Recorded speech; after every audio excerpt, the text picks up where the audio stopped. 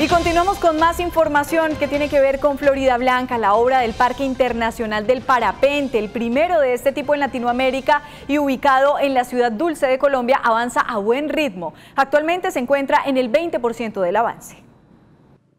Avanza según lo establecido una de las obras más emblemáticas que se adelanta en Florida Blanca y que permitirá seguir fortaleciendo el municipio como epicentro del turismo en el departamento.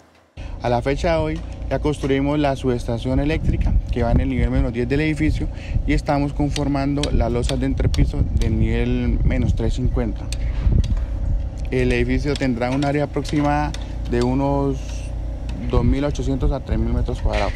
En este proyecto se estarán invirtiendo cerca de 18 mil millones de pesos con la gobernación de Santander y no solo contará con las pistas para parapentes profesionales y aficionados, sino también otros espacios de aprovechamiento. Para garantizar que se construya lo que va a ser una zona de desarrollo comercial, un auditorio para una capacidad aproximada de 120 personas que van a poder estar acá con esta gran vista dando sus diferentes conferencias diferentes charlas, diferentes eventos de aglomeración. Así vamos a encontrar una zona de desarrollo y esparcimiento donde van a haber canchas sintéticas de fútbol, playa, una pista de ciclomontañismo en la periferia y vamos a encontrar la disponibilidad de tener más de 80 parqueaderos para visitantes y a su vez parqueaderos de usos independientes. Estas obras se adelantan mediante dos frentes simultáneos de trabajo donde se interviene actualmente la vía de acceso y el edificio principal. Se tiene previsto que la entrega será para el mes de noviembre de este año.